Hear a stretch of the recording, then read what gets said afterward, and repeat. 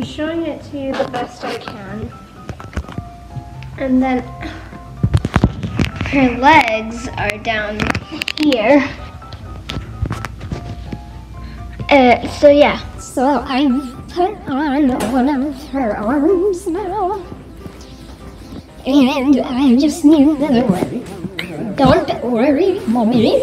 Yeah. So I've got the other arm on, and I'll show you the full product. Yeah, yeah, yeah.